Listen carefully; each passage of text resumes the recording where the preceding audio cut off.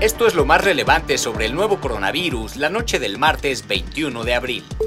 La Secretaría de Salud reportó 145 nuevas muertes por COVID-19 en México, con lo que suman 857 decesos desde que inició la pandemia.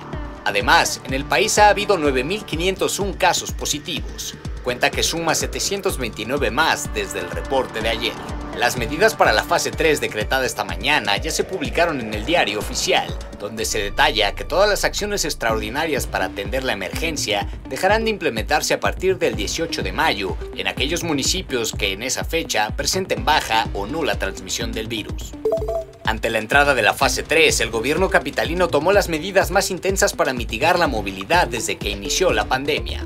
El 20% de las estaciones del metro, metrobús y tren ligero se cerrarán a partir del jueves 23 de abril para acelerar el flujo del transporte público y evitar aglomeraciones de personas en los puntos de mayor demanda. Para balancear el flujo de movilidad en los días de la semana, también se aplicará el programa Hoy no circula a todos los vehículos, sin importar su holograma, excepto a los taxistas, transporte de carga y personas con discapacidad.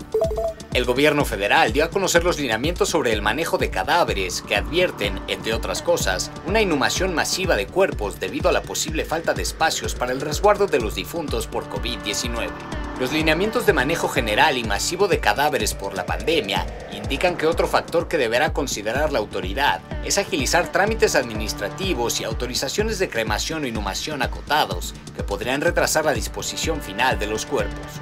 Las autoridades estatales y municipales deberán considerar que algunas familias pudiesen no tener los recursos para los servicios funerarios, por lo que será necesario considerar apoyos sociales y evitar el abandono de los cuerpos.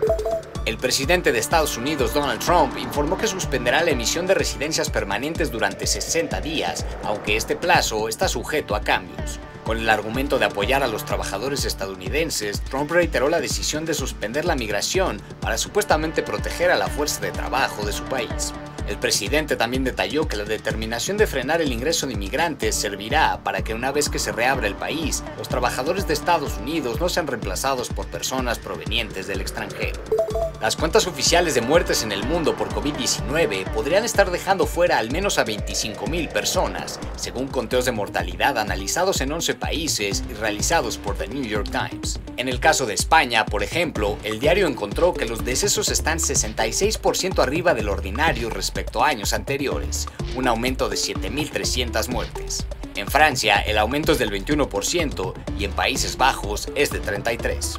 La Organización Mundial de la Salud ha justificado la ausencia de cifras claras porque las autoridades pueden no tener la capacidad de contar a todos los fallecidos en este momento de emergencia.